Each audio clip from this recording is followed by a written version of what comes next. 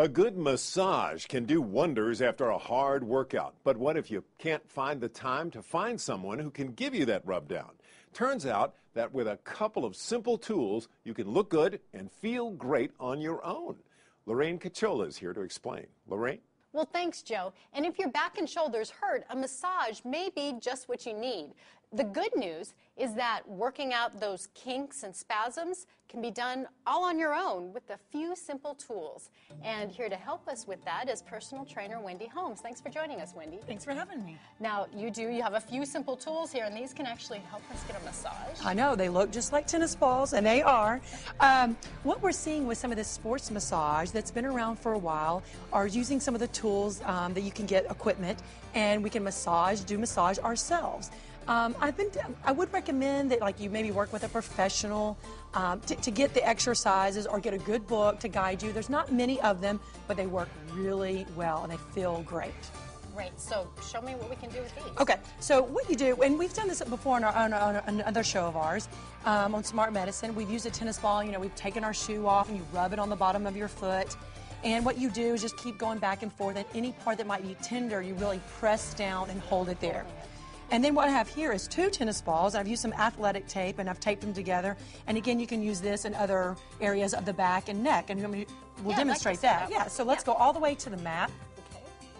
And the good news is, you, I mean, for you, you might you, you put it under your neck and you just kind of lie down there, and you might not feel any major tension. So you, it's not like you're like, oh my goodness, this feels great. But for others that have neck issues, they might really feel uh, a release in the neck muscles.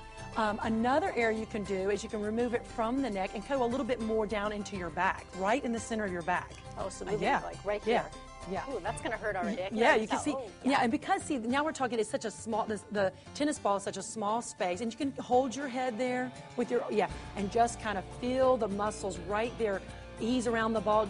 And what, we what we've got going on is deep compression of the muscle tissue. And so that allows um, really to press on it. And so the knots and spasms have a chance to, to relax. And then the muscle, it actually starts to feel better after not can, feeling so good. I can feel it getting warm actually yeah. right now.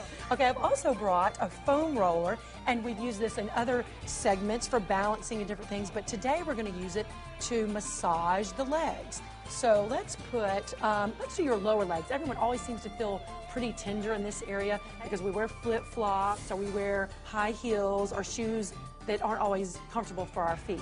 So you're in the correct position. You're going to cross one leg over. And we're going to so lean back here. You are going to lean back, and what you're going to, the bottom leg that's on here is what's going to feel the tension of this exercise. Now lift your glutes off the mat and then kind of just roll. That's right, back and forth from like the knee um, down to the lower part, right above your ankle. Should this be hurting? It should be hurting. Now, and now that you've gone through the whole leg, go to a part on the leg that feels yes. really hard and hang there for 30 seconds.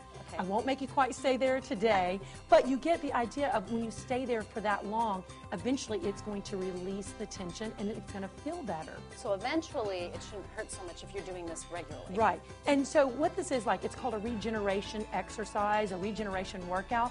Um, and even those that are training um, for maybe certain events or they're actually incorporating this as one of their workout days because it's so good and healthy for our muscles. It's allowing them to have better workouts. Great. So is there anything else that I can do with this besides you? oh, I, I, you, you, can actually um, uh, get in on your hamstring. So come all the way up. Okay. Yes, from there.